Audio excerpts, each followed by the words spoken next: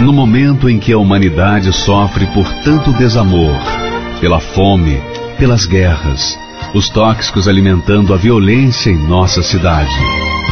Esta emissora traz até você momentos de amor, paz e alegria, através de um programa feito com carinho para o seu coração.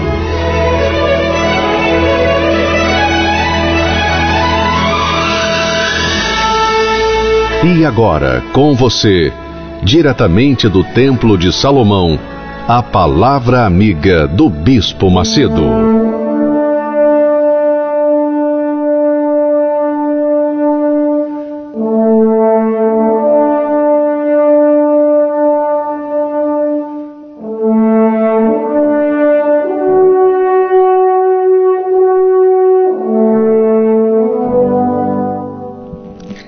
Meu Pai, Pai de nosso Senhor e Salvador Jesus Cristo. Nós elevamos nossos pensamentos diante do teu trono. Em o nome do Senhor Jesus, nós viemos em busca de respostas em busca de soluções, em busca da tua presença. Meu Pai e nosso Pai. O Senhor que conhece a nossa estrutura, o nosso íntimo, as profundezas do nosso interior. Ó oh, meu Pai, venha o teu reino e faça-se a tua vontade em nossas vidas. Faça-se a tua vontade por onde quer que haja um servo, uma serva tua. Faça-se a tua vontade, meu Pai, independentemente da nossa vontade. Porque, como imaturos, crianças, como pessoas humanas, nós não temos capacidade para mensurar a grandeza da tua vontade e a pequenez da nossa vontade. Às vezes, meu Senhor, a gente aqui embaixo quer impor a vontade da gente. Quer impô-la sobre a tua vontade. E não temos não temos um mínimo de visão das consequências da nossa vontade. Por isso, venha o teu reino, meu Pai, e faça-se a tua vontade, a começar das nossas vidas. Ó oh, Senhor, eu falo contigo em favor todos os que creem na tua palavra, de todos os que neste momento disponibilizam suas vidas para orar comigo, pedir comigo. Que a tua vontade seja feita e nada mais. A tua vontade seja feita e nada mais. Nada mais importa para mim, meu Senhor, do que a feitura da tua vontade. Eu não quero saber de mais nada. Eu não quero mais projetar planos, projetar o futuro. Eu quero que o Senhor faça a tua vontade e eu quero estar no centro dela. Eu quero estar executando aquilo que o Senhor quer, independentemente dos meus sentimentos, da minha vontade. Oh, meu Pai amado e querido, quando nós deixamos que a tua vontade, permitimos que a tua vontade seja feita em nossas vidas, então as doenças vão embora, as enfermidades são eliminadas, as forças espirituais do mal não resistem, os caminhos são abertos. E nós passamos. E nós atravessamos as muralhas nós ultrapassamos as montanhas. Porque é a tua vontade. A tua soberana vontade. Venha, faça-se a tua vontade na vida de cada um que quer que ela seja feita. Venha, meu Pai, sobre essa criatura que me ouve e que está cansada de tentar a sua própria vontade. Mas agora entendeu que a tua vontade é melhor do que a dela. Faça-se a tua vontade. Em o nome do Deus Pai, do Deus Filho, do Deus Espírito Santo. E quem quer que essa vontade divina seja feita na sua vida. Diga amém e graças a Deus. Por toda a minha vida, ó Senhor, te louvarei. Pois meu fôlego é tua vida e nunca me cansarei. Posso ouvir a tua voz, é mais doce do que o mel.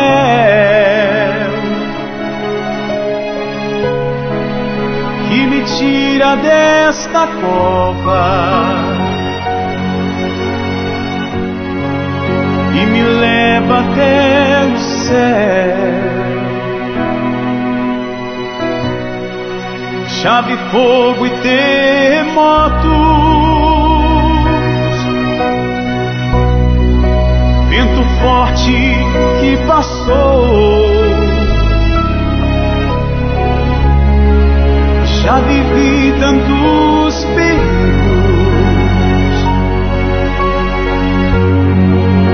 Tua voz me acalmou.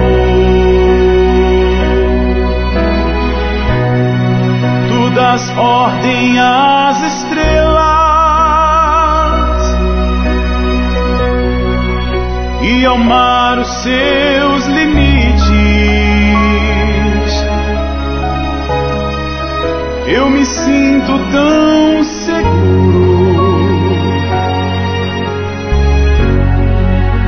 teus braços, ó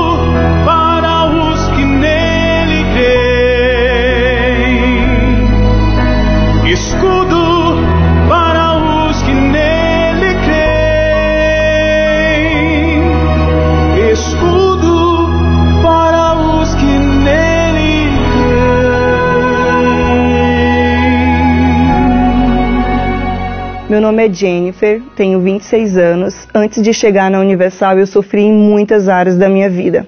Eu era uma Jennifer vazia, solitária, carente, depressiva, que não dormia, que emendava baladas e baladas porque eu não dormia e quando eu dormia eu tinha pesadelos. Eu trabalhei em alguns lugares que eu perdi oportunidades de promoção, eu, eu saí do trabalho porque eu perdi a hora. Eu acordava com dor de cabeça, dor no corpo, dor nas costas, no ombro, muito agressiva com as pessoas. Eu não aguentava nada calada, não aguentava ordem, não me submetia à liderança no trabalho. Tinha insônia, tinha ansiedade, fui diagnosticada com síndrome de pânico. Era horrível. E depois que eu passei um tempo com esse sofrimento na síndrome do pânico, eu tive depressão profunda eu queria desistir da faculdade, eu já fazia um outro curso. Depois que eu tive depressão, um diagnóstico foi me levando ao outro. Eu tive transtorno de bipolaridade tipo 1. Foi quando eu recebi aquele diagnóstico, eu falei, então tudo que deu errado na minha vida até hoje é porque eu sou bipolar. Tomava um remédio para não surtar. Era um remédio já para pessoas que, que são loucas. E eu li a bula e eu pensava, chegava um momento que eu até parava de ler as bulas, que eu tomava quatro tipos de remédio, porque eu falava, meu Deus, eu, eu, vou, eu vou enlouquecer. Com 25 anos eu vou enlouquecer. Foi uma manhã que eu estava completamente depressiva, estava passando na calçada e eu, no meu lado direito eu vi um livro da igreja. E eu achei muito interessante o título. Entrei na livraria e falei, eu preciso desse livro. Comprei o livro e levei para casa e comecei a ler aquele livro e eu tive curiosidade de vir até o templo. E a partir daquele dia que eu decidi vir no templo, eu comecei a ver uma mudança dentro de mim. Uma mudança que eu nunca tive em nenhum lugar que eu tinha ido. E eu lembro que eu saí daquele dia completamente diferente como eu tinha entrado. E desde o dia que eu vim no templo, eu nunca mais faltei uma reunião.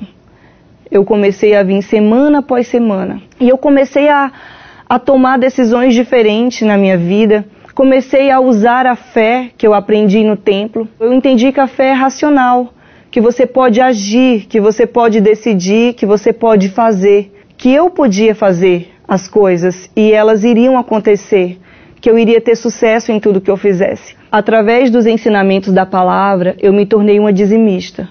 Hoje eu sou uma dizimista fiel.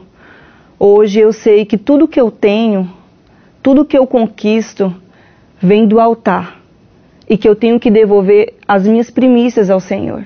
Desde o primeiro dia que eu entendi através da palavra que eu tenho que devolver aquilo que Deus me dá, eu tenho prosperado. Eu já estava tomando outras decisões na minha vida, decisões boas, eu já estava colhendo frutos dessas decisões, mas a minha vida ela só se tornou completa quando eu recebi o Espírito Santo. Quando eu recebi o Espírito Santo, aí sim eu senti o meu ser completo, eu me senti plena, eu me senti em paz. E hoje, com o Espírito Santo, eu não sou mais imediatista. Hoje, com o Espírito Santo, eu não sou mais ansiosa impulsiva, agressiva com as pessoas. Hoje eu não tomo um remédio para nada. Nem para dormir, nem para ansiedade, nem para depressão, nem para bipolaridade, nem para ansiedade, para nada. Eu simplesmente deito e durmo, tudo porque eu decidi crer. Ser dizimista me ensinou a ter um relacionamento com Deus. Foi através do meu relacionamento com Deus, da minha fidelidade com Deus, que eu recebi o Espírito Santo. Pois é, não tem, não tem nem mais palavras para dizer, para acrescentar diante do que ela falou. Eu só tenho a chamar a atenção daquelas pessoas cabeçudas, aquelas pessoas que são cabeçudas, teimosas. Elas tentam resolver os seus problemas segundo a maneira delas, pensando que são alguma coisa, pensando, ah, eu já creio em Deus, eu já vou na igreja, eu já faço isso, eu já faço aquilo e não faço mal a ninguém. Elas pensando assim, elas pensam, ah, eu não preciso, eu já tenho o Espírito Santo, mas pera lá, pera lá.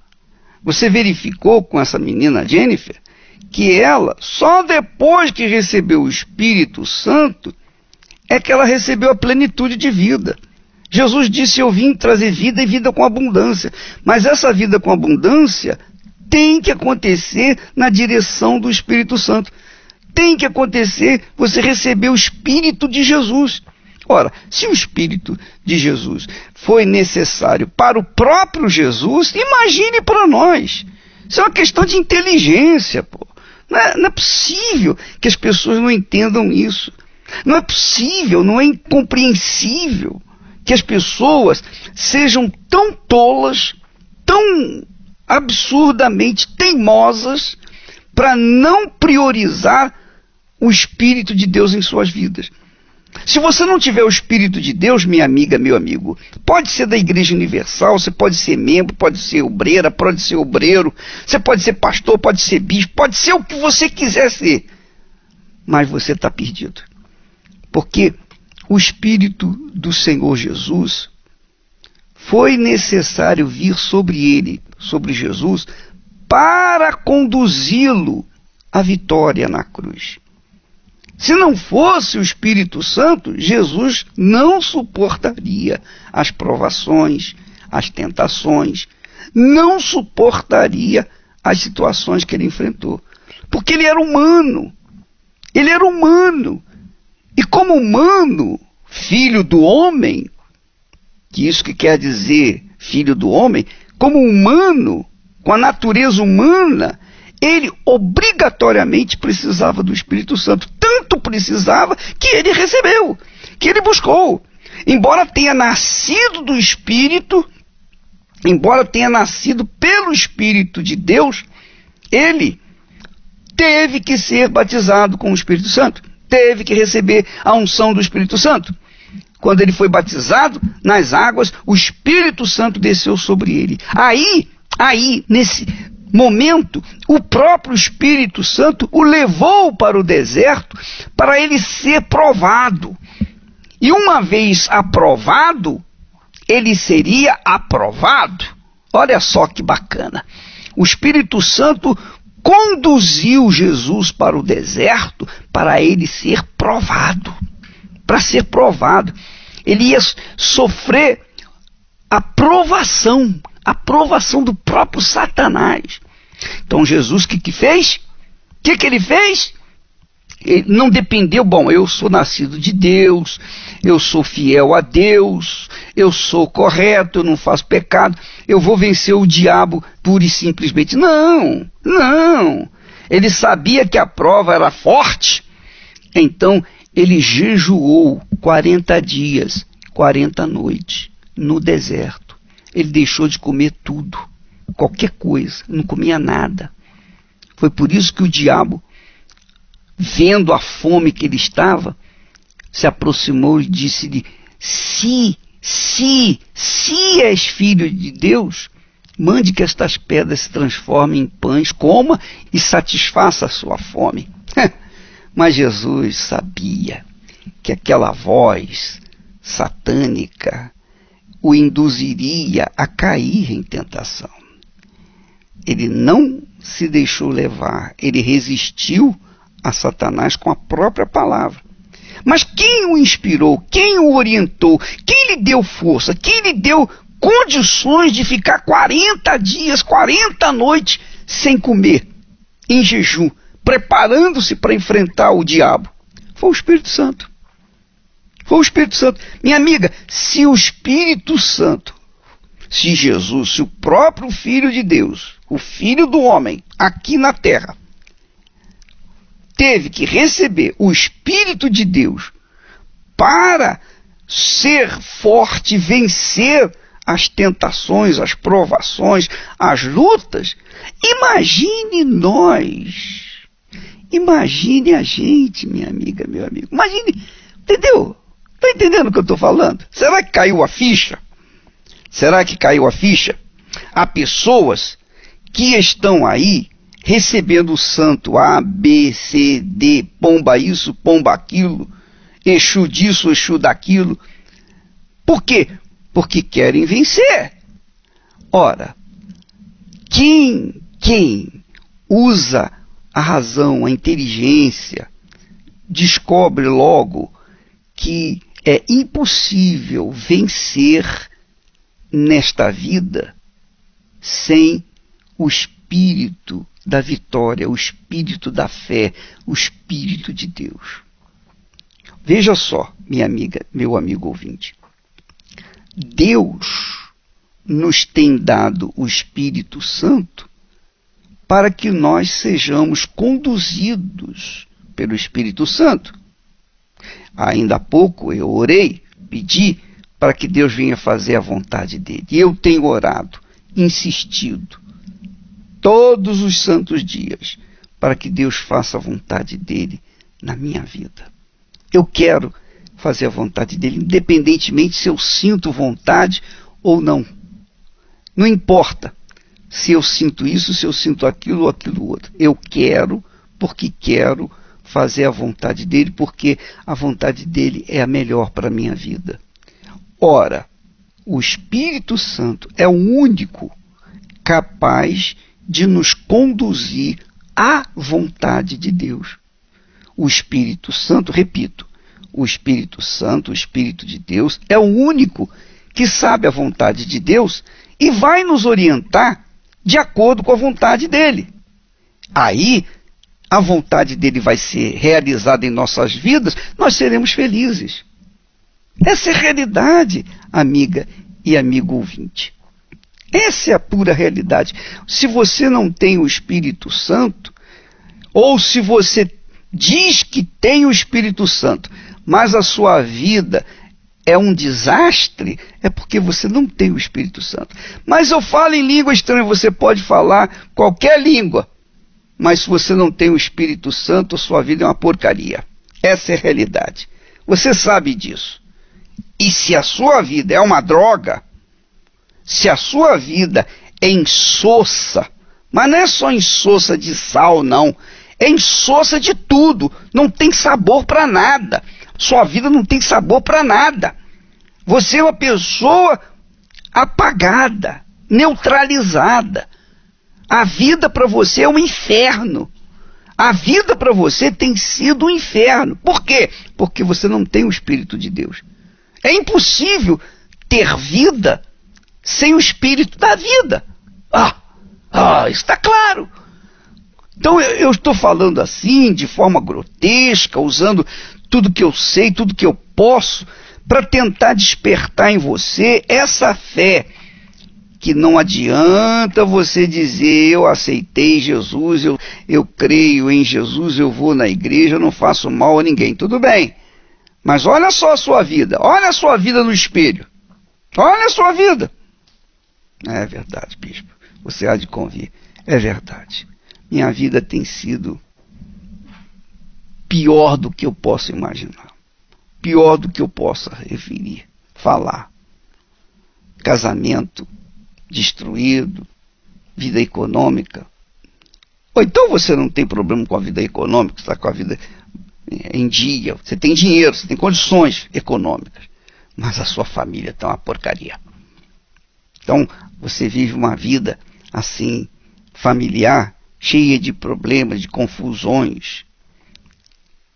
E você sabe que se não há paz dentro do seu lar, na sua vida, no seu casamento?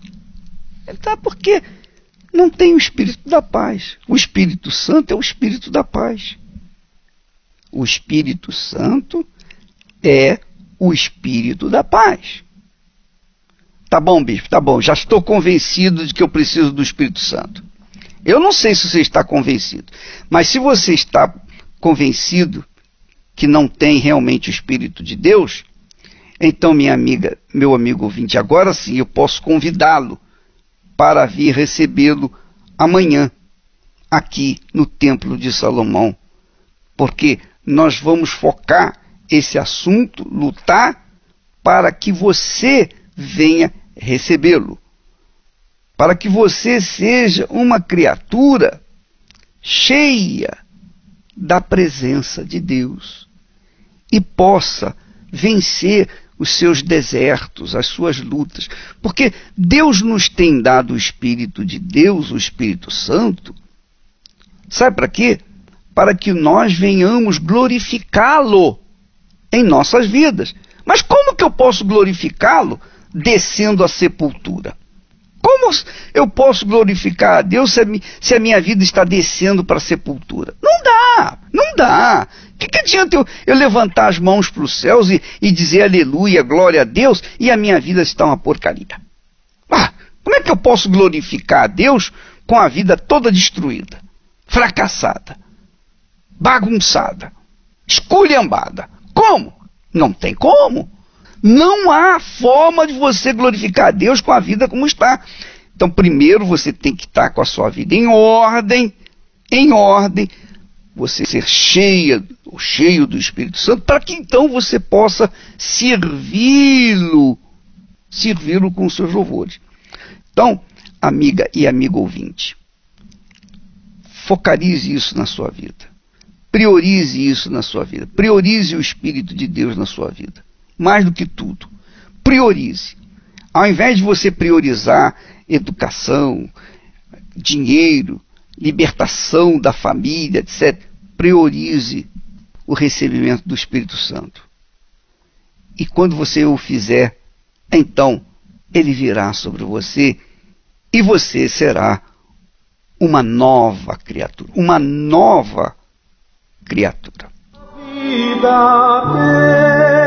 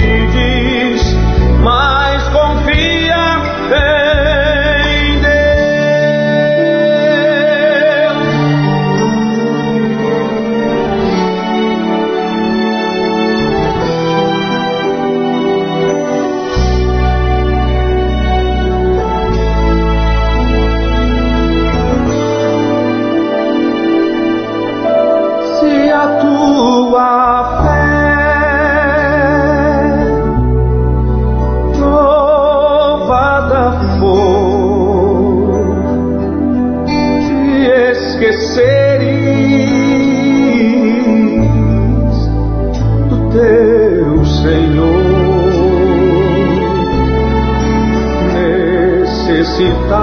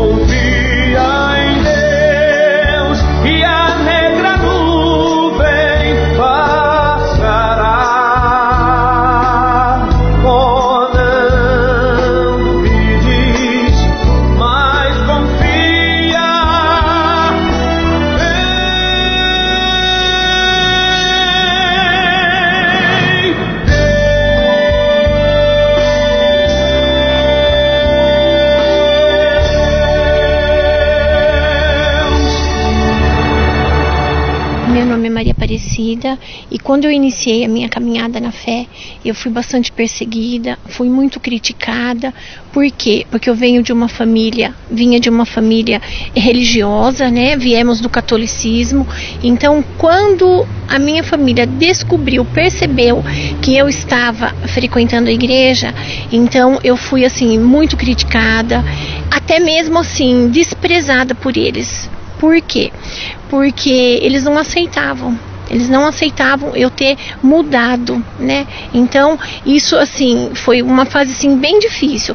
A gente já não era mais lembrado para alguma festa, para algum evento, para alguma coisa que tinha. A gente já sempre ficava assim de fora, entendeu? Mas mesmo assim, eu não me curvei, fui firme no meu propósito e continuei a buscar esse Deus, o Deus dos vencedores.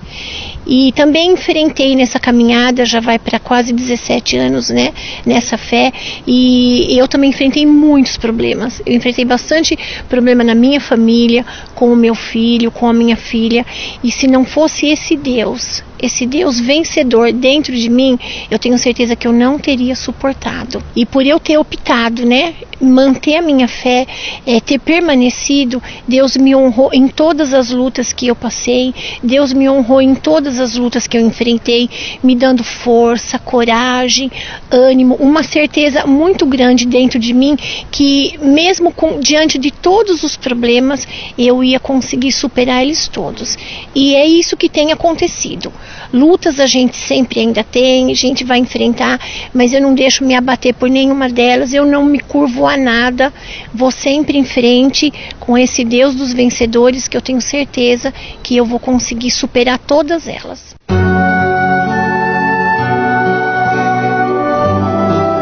A fé e a inteligência trabalham juntas. Embora a fé seja encarada como loucura para esse mundo, ela é inteligente porque nos faz saber que temos direito à felicidade. A fé faz com que recusemos uma vida de derrotas e conquistemos uma vida de vitórias. Se tudo não está de acordo com os seus ideais, está na hora de você refletir com a sua inteligência e usar a sua fé para trazer à existência os desejos de seu coração. Igreja Universal do Reino de Deus um lugar de fé para a sua vida.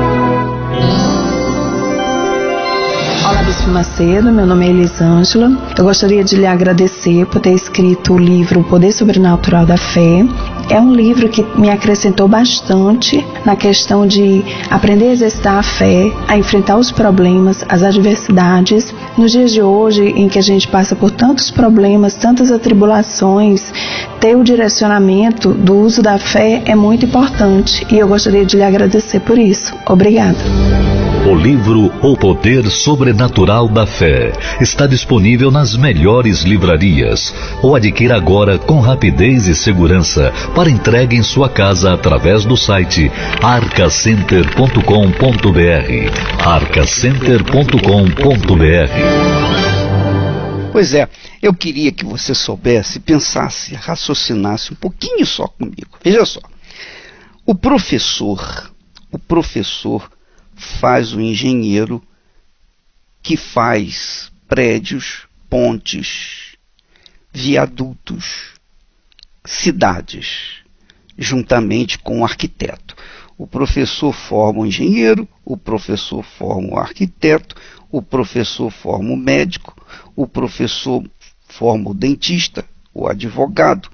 O professor forma profissionais. E o que, que acontece? Esses profissionais formam a cidade. Esses profissionais ajudam as pessoas. Ora, o professor, por sua vez, usa o que para formar um engenheiro, um médico, um dentista, um profissional? O que, que o professor usa para formar um profissional? Ele usa a palavra. Ele usa a palavra. Só isso.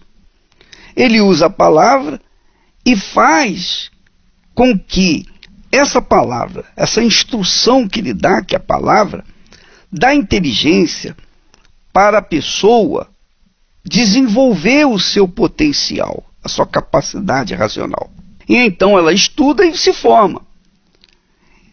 Então, numa faculdade, numa universidade, formam-se profissionais por conta da palavra que os mestres, os professores ensinam os alunos.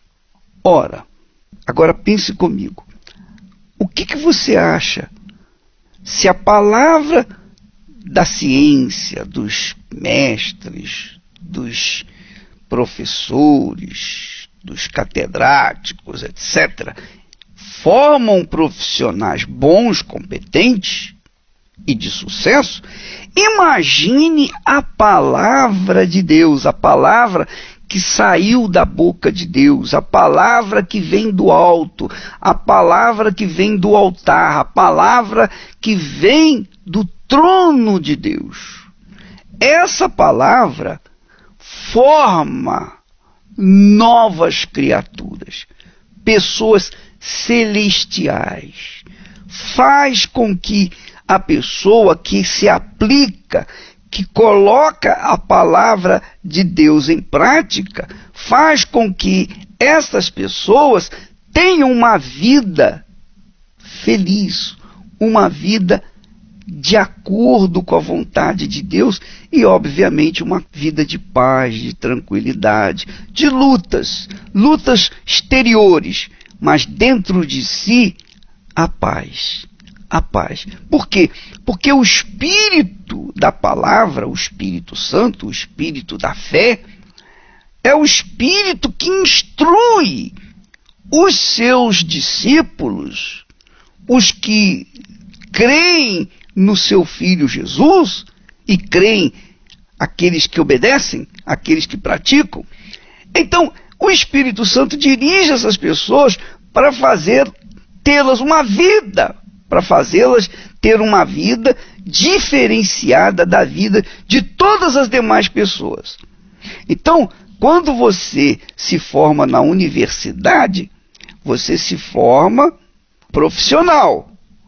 Mas esse profissional médico, dentista, cientista, seja lá o que for, ele não tem poder para construir a sua própria vida. Não tem poder. Ele tem poder para construir prédios, para levar a medicina saudável para as pessoas, ele tem poder para curar os seus dentes que estão cariados, ele tem poder para fazer, defender você perante o juiz, mas eles não têm poder para ter uma vida plena dentro da sua própria casa, na sua família. Não tem poder. Então eles perdem aí. Perdem um casamento fracassado, perdem porque ficam nervosos, vivem na dúvida, no medo, ansiosos. Por quê? Porque eles foram formados na universidade. Eles não foram formados pela palavra de Deus. Agora, quando você bebe da palavra de Deus, coloca essa palavra em prática, o espírito da palavra conduz você à vontade de Deus e você passa a viver uma vida diferenciada da vida deste mundo. É isso que Jesus veio trazer: vida e vida com abundância. Então, você, amiga e amigo ouvinte, saiba que a sua vida depende da palavra que você ouve. A sua vida depende da palavra que você obedece. A sua vida depende da sua decisão. E esta é a razão porque amanhã nós estaremos fortalecendo, orando, pedindo, clamando, suplicando. Nós vamos fazer tudo que temos direito, tudo que eu sei, tudo que eu, que eu tenho, eu vou passar para as pessoas aqui no Templo de Salomão às oito da noite. Você é o nosso convidado. Nós vamos ouvir mais um testemunho do poder de Deus. Vamos ouvir testemunhos de pessoas que experimentaram o que nós estamos falando. Por favor, coloque aí. Meu nome é Aline Beatriz, eu sirvo a Jesus há sete anos. Eu venho caminhando na fé, com temor, com respeito a Deus, amo a Deus acima de todas as coisas. Teve um dia que a minha fé foi colocada em prova, foi colocada em jogo, foi colocada na parede. E no meu trabalho eu tinha um trabalho maravilhoso, eu conseguia comprar minhas coisas, esse trabalho era, o horário era maravilhoso, eu conseguia dividir as coisas certinho. Só que a minha superior, a, a moça que eu auxiliava, ela sempre pedia para mim mentir. Então eu sempre valorizava a minha fé. Eu dizia, não, não vou mentir. Às vezes ela estava do meu lado, a Lindy fala que eu não tô. Falava, não, eu vou falar que você tá, eu não vou mentir. E ela sabia da minha fé, ela sabia aonde eu ia. Então eu falava para ela que eu não ia mentir. Ela falava, mas ninguém tá te vendo. Eu falava, mas Deus está me vendo. Então eu não menti. Então isso foi piorando a cada dia. Ela parou de falar comigo, até que chegou no meu chefe. E ele me falou: Aline, eu quero te mudar de cargo. Eu vejo que você está crescendo na empresa, está se desempenhando. Eu quero te mudar de cargo, quero que seu salário aumente, quero que você cresça aqui dentro. Só que você vai ter que trabalhar de domingo a domingo. E aí ele falou: Tem algum problema? E eu falei assim: Tem. Eu tenho meu compromisso na igreja, eu não posso faltar no domingo. Eu vou buscar Deus.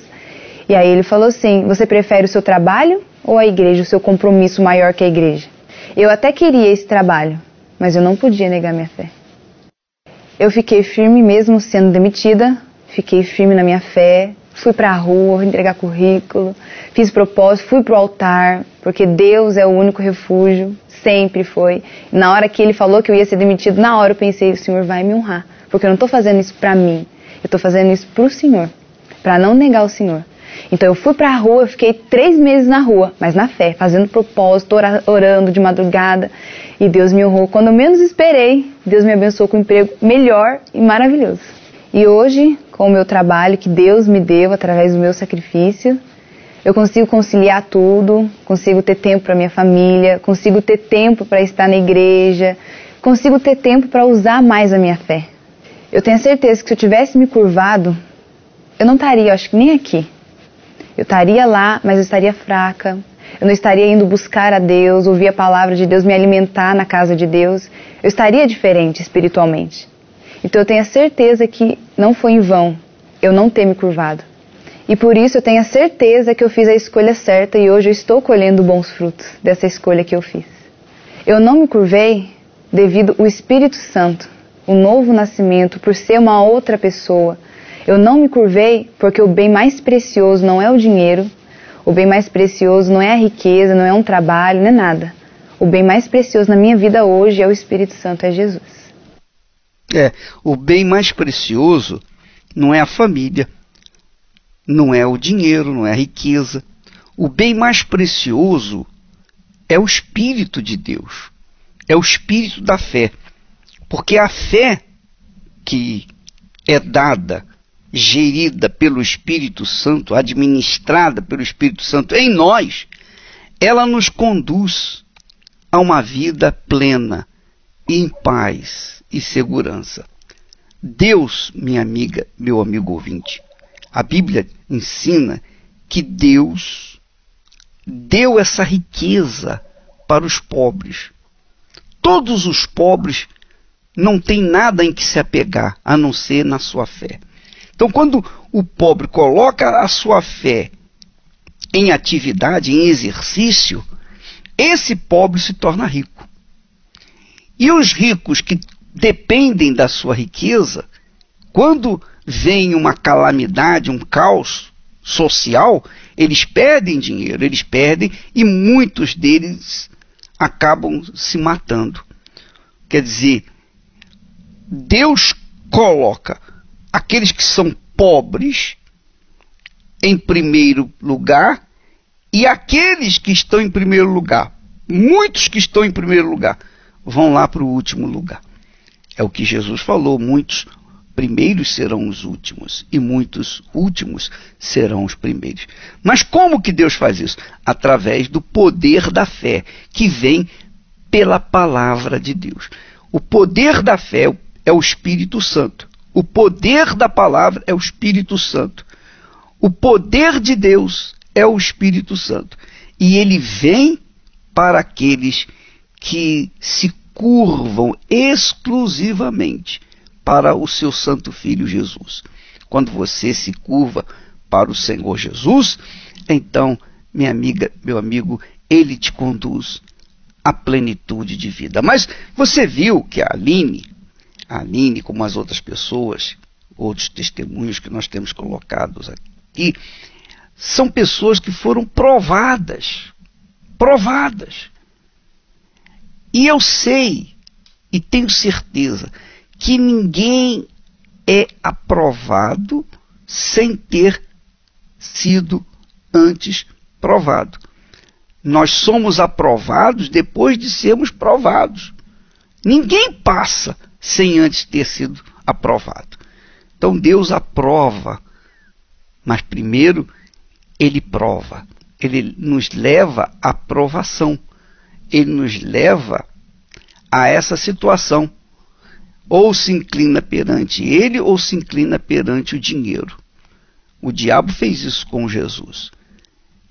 E Jesus resistiu, e o Senhor Jesus venceu, porque o Espírito de Deus, o Espírito Santo, estava com ele. Então, minha amiga, meu amigo ouvinte, a Igreja Universal do Reino de Deus está fazendo 40 anos. Quer dizer, uma geração, 40 anos. Por que, que ela chegou aqui e está em quase todo o mundo? Por causa da direção do Espírito Santo. O Espírito que está nela, quem a dirige, é o Espírito Santo. Por isso que todas as rebordosas, todos os problemas, todas as situações difíceis que nós passamos, fomos provados, nós fomos aprovados porque Deus nos deu o Espírito Santo. Que isso sirva de exemplo para você. Nós vamos ficando por aqui. Amanhã estaremos de volta neste horário, nesta emissora. E não se esqueça, nesta quarta-feira, às oito da noite, aqui no Templo de Salomão, o Espírito Santo é a prioridade. Deus abençoe em nome do Senhor Jesus. Eu sou daqueles que sabem que para vencer é preciso lutar. Quanto maior for a luta, será a vitória que Deus vai me dar. Que por questão de justiça, o homem só colhe o que ele plantar. E aquele que crê sacrifica o que preciso for. Eu faço parte de um povo valente que não se deixa vencer pelo mal.